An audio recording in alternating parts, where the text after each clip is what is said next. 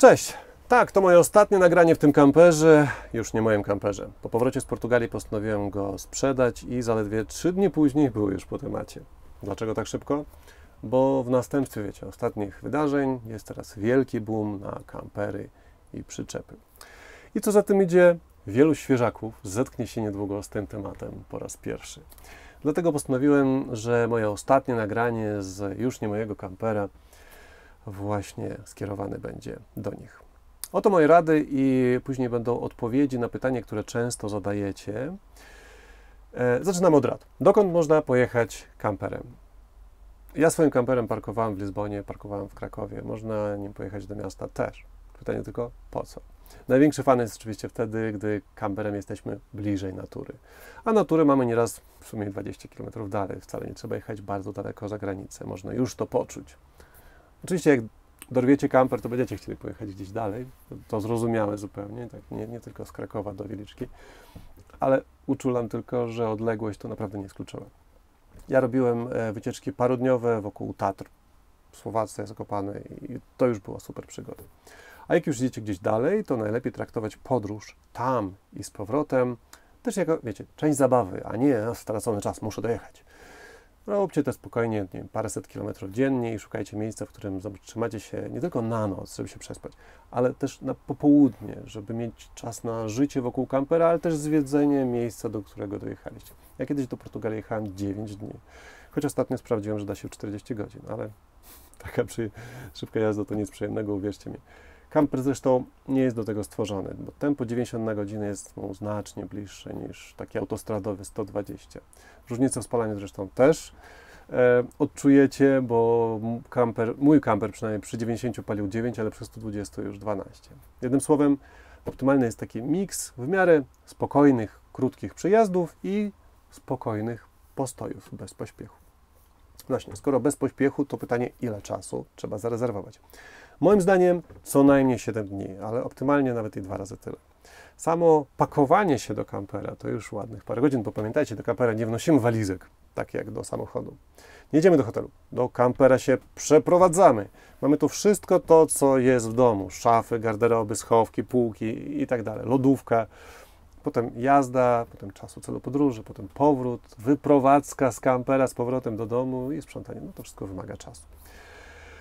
Jaki kamper mam wynająć? Następne pytanie. No, to oczywiście zależy od potrzeb, ale też od celu podróży. Jeśli jednak macie czas, za, czasem zamiar wpaść do miasta, to wielki kamper będzie no, gorszym pomysłem, tak? Lepiej w tym wypadku zejść zdecydowanie poniżej 7 metrów.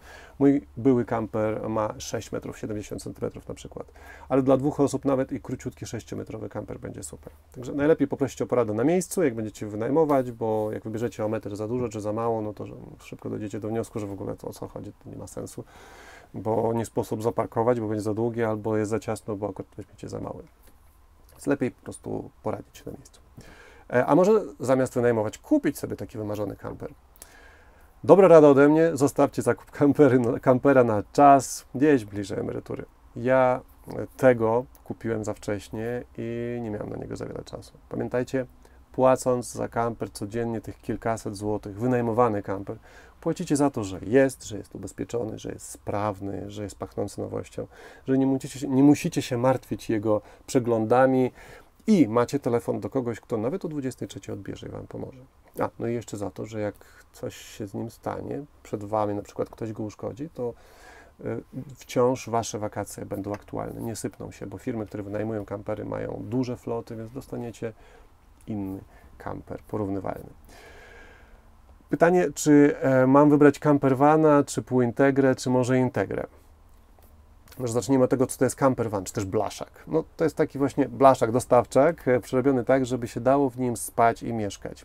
Oczywiście nie jest to najbardziej przystronna rezydencja, ale w porównaniu z kamperami bardzo zwinna i bardzo szybka.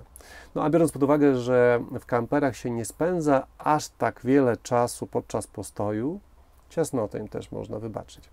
Z kolei półintegra to taka szoferka z przodu z dostawczaka, ale z tyłu już kompletnie inna zabudowa, szersza i dłuższa. Jest jeszcze alkowa, czyli taka zabudowa, która wchodzi na dach szoferki i tworzy w ten sposób takie dodatkowe, wielkie, przestronne miejsce do spania. Przy okazji też wielkie okwory powietrza podczas jazdy. E, no i wreszcie Integra. Integra jest już takim autobusem, który jest przerobiony cały, od początku do końca. Różnice pomiędzy campervanem, półintegrą i integrą omawiałem już w innych swoich filmach. Linki do nich znajdziecie oczywiście w opisie. Najczęściej możecie się spodziewać e, w każdym rodzaju kampera prysznica, toalety, kuchenki, lodówki. Tylko, że to może być mniejsze albo większe. No, a może przyczepę? No właśnie, to jest zupełnie inna koncepcja. Potrzebujemy oczywiście samochodu, który będzie miał odpowiednią moc z hakiem, e, co jeszcze, no i odpowiednie uprawnienia nawet czasem. Bo E, o ile kamperem do 3,5 tony możemy jeździć z kategorią B, o tyle przy przyczepie powyżej 750 kg, a taką, w której chcesz zamieszkać, taka będzie prawdopodobnie miała e, ponad 750, no to w zależności od masy auta możesz potrzebować dodatkowych uprawnień, czyli B96. To już zależy od masy auta i przyczepy. Ostatnio porównywałem też dla Was przyczepy, link znajdziecie też w opisie. No więc jak wiadomo, przyczepy ciągniemy za sobą. Cała ekipa jest wtedy ściśnięta w samochodzie i to jest zupełnie inny komfort jazdy niż, wiecie, jazda w przestronnym kamperze, tak? No chyba, że, nie wiem, jeździsz Range Roverem, to wtedy też możesz sobie tak pomachać rękami. Um, nie wiem, czy muszę mówić, że nie wolno jechać w ciągniętej przyczepie, podobnie jak spać w kamperze podczas jazdy. Nie muszę tego mówić, prawda? E, co do jazdy. Trzeba też ogarnąć manewrowanie z przyczepą, co wcale nie jest takie trudne. Próbowałem, da się, niezła zabawa, ale dla początkującego łatwe też nie jest. Za to jak już dojedziemy na miejsce, to możemy odpiąć przyczepę i samochodem jeździć gdzie chcemy, szybko i zwinnie. I to naprawdę jest o wiele wygodniejsze niż jazda wielkim kamperem, który musimy się spakować, wyjechać, pojechać po bułki, wrócić. Okazuje się, że miejsce na kempingu już zajęte. Ach, lepiej zadzwonić na taksówkę, jeśli już jesteście e, kamperem. Może się przydać.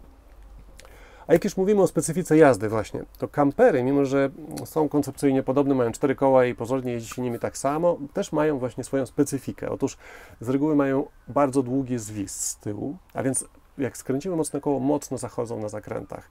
I ten tył zachodzący łatwo uszkodzić, więc pamiętajcie, szczególnie też w walkowach, o przestrzeni na wysokość. Trzeba też zwalniać na zakrętach i przyzwyczaić się troszkę do odgłosów mm, e, z kuchni na nierównościach, bo e, słychać te noże i widelce.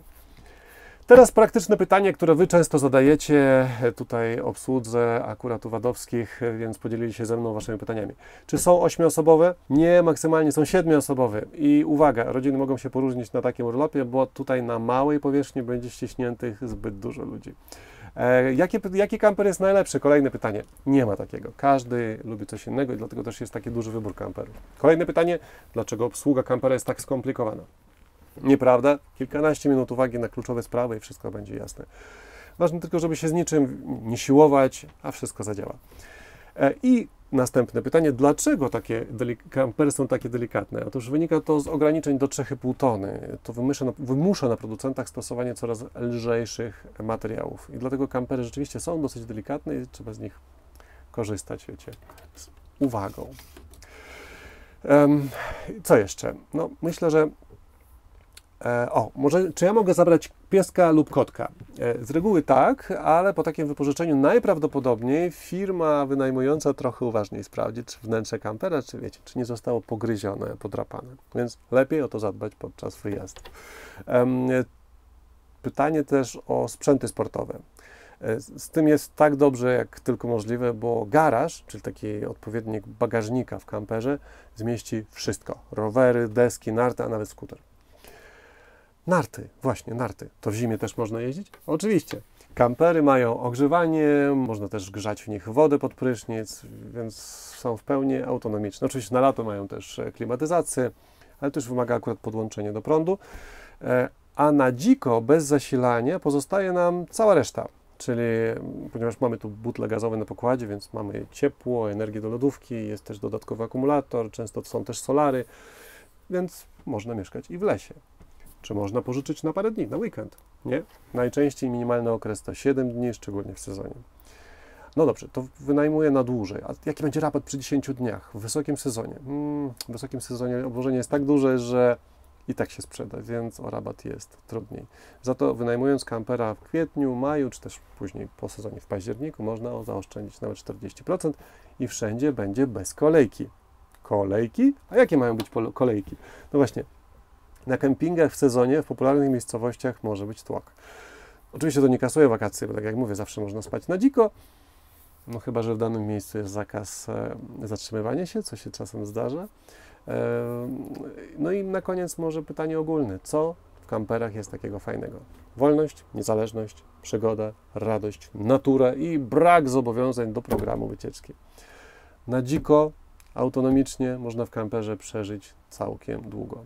E, w tym kamperze zbiornik wody to 100 litrów, kasetka do toalety też nie jest mała, więc można całkiem długo przetrwać. W krajach, gdzie kamperowanie jest popularne, na wielu stacjach paliw zresztą można opróżnić kasetkę, wymienić wodę, z tym zwykle naprawdę nie ma problemu. I tym pytaniem kończę ten poradnik. E, mam nadzieję, że Wam się przyda i że odkryjecie dla siebie świat karawaningu. Ja kiedyś to zrobiłem, byłem zachwycony, więc e, mam nadzieję, że Wam się też spodoba. Przy okazji dziękuję Wadowskim za udostępnienie mi mojego byłego kampera, ale też placu, na którym mogłem zrobić dla Was przybitki, żeby nie tylko opowiedzieć, ale też pokazać te różne rodzaje kamperów i ich wyposażenie. Przy okazji tutaj w Wodowskich możecie nie tylko wypożyczyć kamper, ale też go kupić. Dzięki. Pamiętajcie oczywiście o subskrypcji i do zobaczenia w kolejnych odcinkach. Cześć!